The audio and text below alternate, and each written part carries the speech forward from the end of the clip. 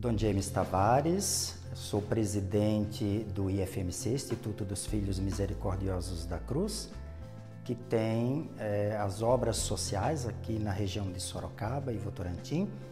com atendimento de aproximadamente 250 pessoas, indiretamente 700 pessoas, e estamos com os equipamentos da Casa do Adolescente, que é um abrigo de acolhimento para jovens de 12 aos 17 anos,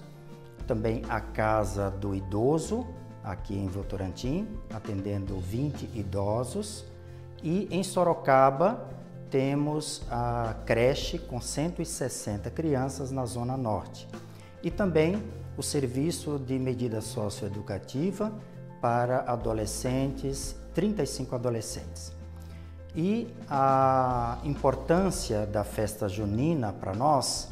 é que traz, além da divulgação dos trabalhos que o Instituto faz aqui na região de Sorocaba, também que reverte em, como uma renda, como um recurso que as instituições é, utilizam, podem utilizar para fazer os seus trabalhos sociais. Então, essa importância maior